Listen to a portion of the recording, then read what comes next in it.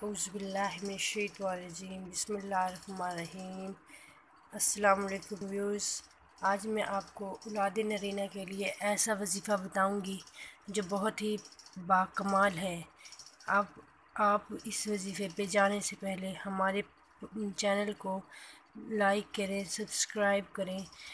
आज जो मैं आपको वजीफ़ा बताऊँगी, वो किसी के यहाँ औलाद नरीदा ना हो तो हमल ठहरते ही नौ माह तक एक सौ ग्यारह मरतबा रोज़ाना पढ़े। रिजक तंगी की दूर के लिए भी इस दुआ को रोज़ाना सात मरतबा पढ़ा जाए। अगर औलाद नरीना के लिए ख्वाहिश हो तो उठते बैठते इसका विरद करें। इन ताला उसके यहाँ औलाद नरीना पैदा होगी। हर दुआ के लिए, हर वजीफ़े के लिए यकीन और मेहनत बहुत ज़रूरी है। अल्लाह पर तवक्ल हो तो हर वजीफ़ा अल्लाह जल्ला शान पूरा फरमा देते हैं।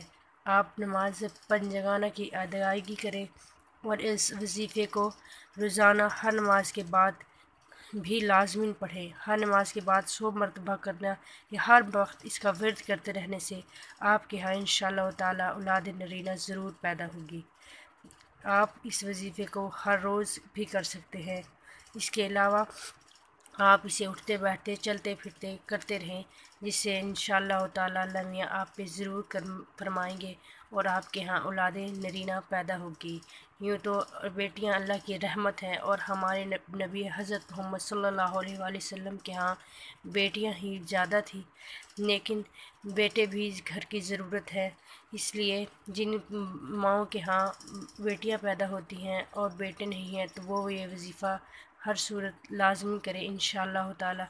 अल्लाह में ज़रूर उनकी दुआएँ सुनेंगे और अल्लाह ताला ज़रूर हर एक की दुआएँ सुनते हैं। आप हमारे चैनल को प्लीज़ सब्सक्राइब करें, शेयर करें और हमारे आने, हर आने वाली वीडियो को लाजमी देखें।